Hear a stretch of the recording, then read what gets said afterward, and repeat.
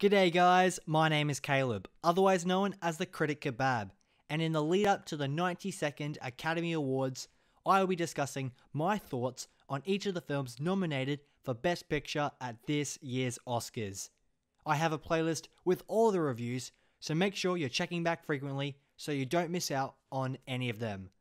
But if you do enjoy this video, please show your support by hitting that like button. Now, the film I will be reviewing this time is The Irishman. The film is directed by the infamous Martin Scorsese, and it stars Robert De Niro, Al Pacino, Joe Pesci, and so many more, and is streaming on Netflix. The screenplay is written by Steven Zaillian, and the story is based off the book written by Charles Brandt called I Hear You Paint Houses, which is Frank Sheeran recounting his time and life in the mob. And now we have a Martin Scorsese gangster film illustrating that story. The biggest talking point about this movie is the 3 hours and 29 minute runtime. Yes, that is a really long time, but somehow they managed to pull it off, and they make a film that is relatively engaging from start to finish. I want to give a special shout out to Thelma Schoonmaker, who was the editor of the film. This definitely has a chance of winning the Oscar for Best Film Editing, which it is also nominated for. When you're tackling a production of this scale, it is incredibly difficult to make sure every scene has a purpose and pushes the story along, whilst also maintaining an engaging pacing. Yes, there are a few moments that could have been shaved off, but for the most part, this film does not waste a moment of screen time because it's all relevant. Martin Scorsese and Thelma Schoonmaker balanced all this out close to perfection. For me personally, I wasn't fully captivated by the story.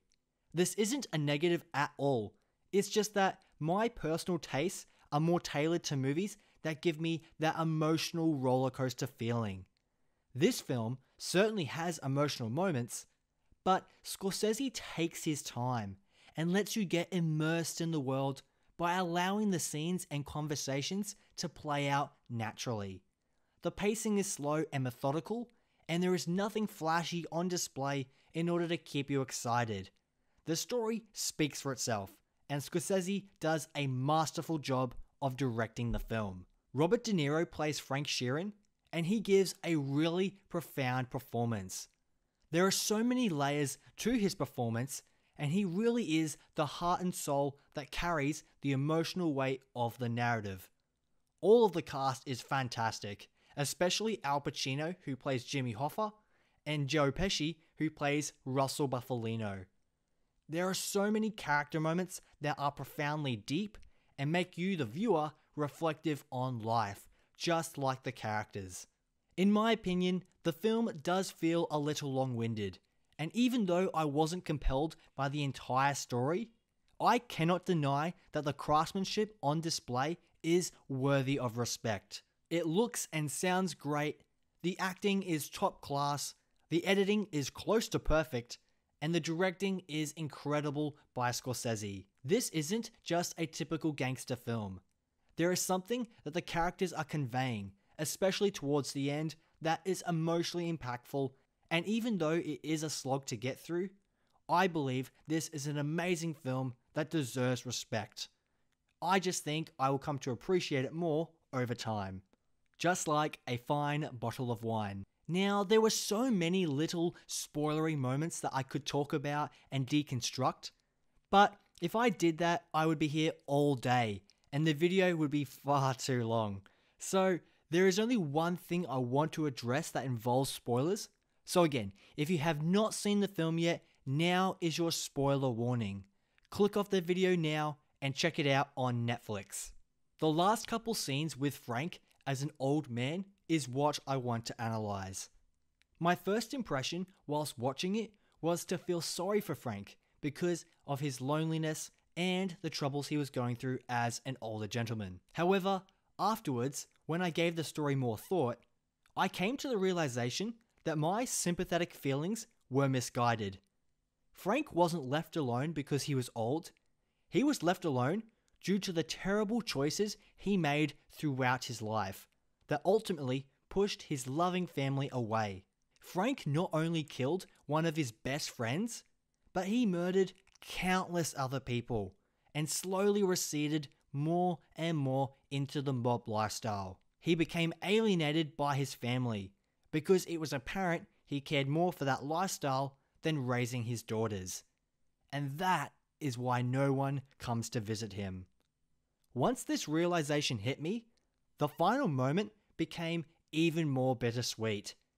Yes, everyone he used to know is dead, but when you think about it, was it all worth it in the end?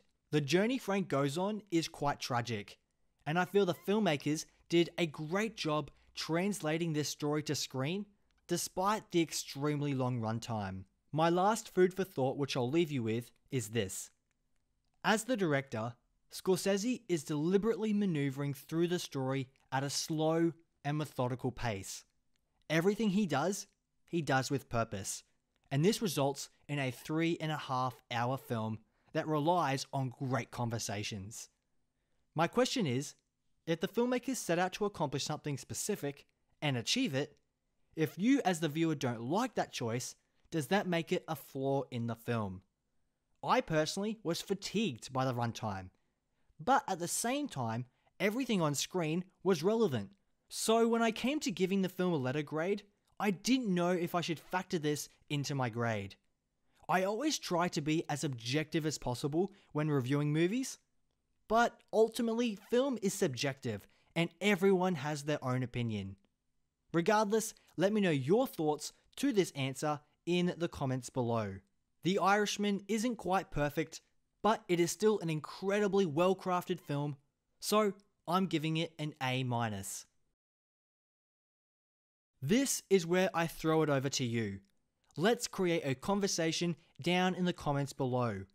Let me know the lines of dialogue, or crazy moments, or great scenes that stood out to you.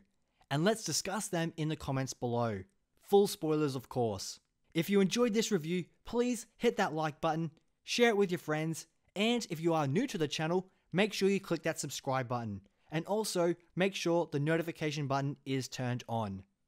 I don't believe this will win the best picture, but if it does, I wouldn't necessarily be opposed to it. I just think that there are better movies more deserving of the award. Stay tuned to find out which ones. Thanks so much for watching, and I'll see you in another video.